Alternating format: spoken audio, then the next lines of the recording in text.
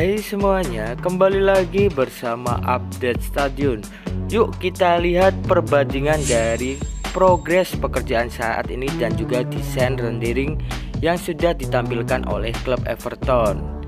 Ini dia tampilan dari progres pekerjaan stadion baru Everton di pinggir sungai Mersey dan kita akan melihat dengan perbandingannya dengan desainnya.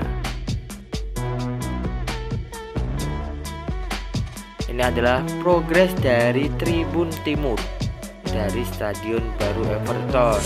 Dan ini adalah renderingnya. Ditargetkan Stadion Baru Everton ini akan selesai pada tahun 2024. Saat ini kita akan melihat progres di dalam stadion ataupun tribun stadion. Kita lihat perbandingannya dengan desainnya. Nantinya tentu saja sesuai dengan bendera klub Everton, single seat akan berwarna biru ya. Ini dia single seat berwarna biru atau biasanya tribun belakang gawang ini namanya supporter section. Ini salah satu tampilan dari sudut tribun di Stadion Baru Everton.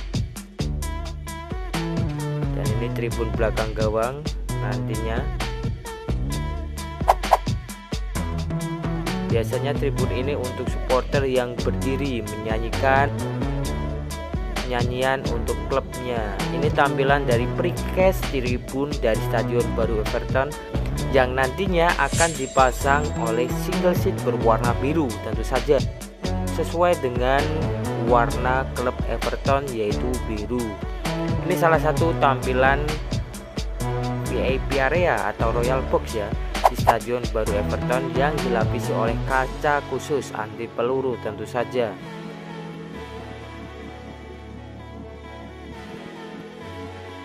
Dan ini adalah progres pekerjaan atap stadion. Panel-panel atap mulai terpasang. Dan beginilah nantinya atap stadion dari Stadion Baru Everton. Atap ini masih terus dikebut pada rangka sisi utara dan juga sisi selatan.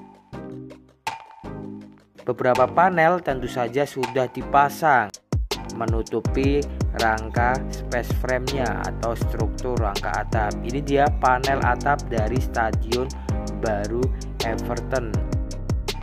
Inilah kondisi terkini fasad atau eksterior dari stadion baru Everton yang terlihat seperti brickwork atau batu bata.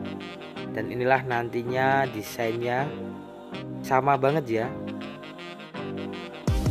dan juga stadion baru Everton akan menampilkan ikon unik yaitu sebuah tower peninggalan zaman dulu yang masih dijaga hingga saat ini.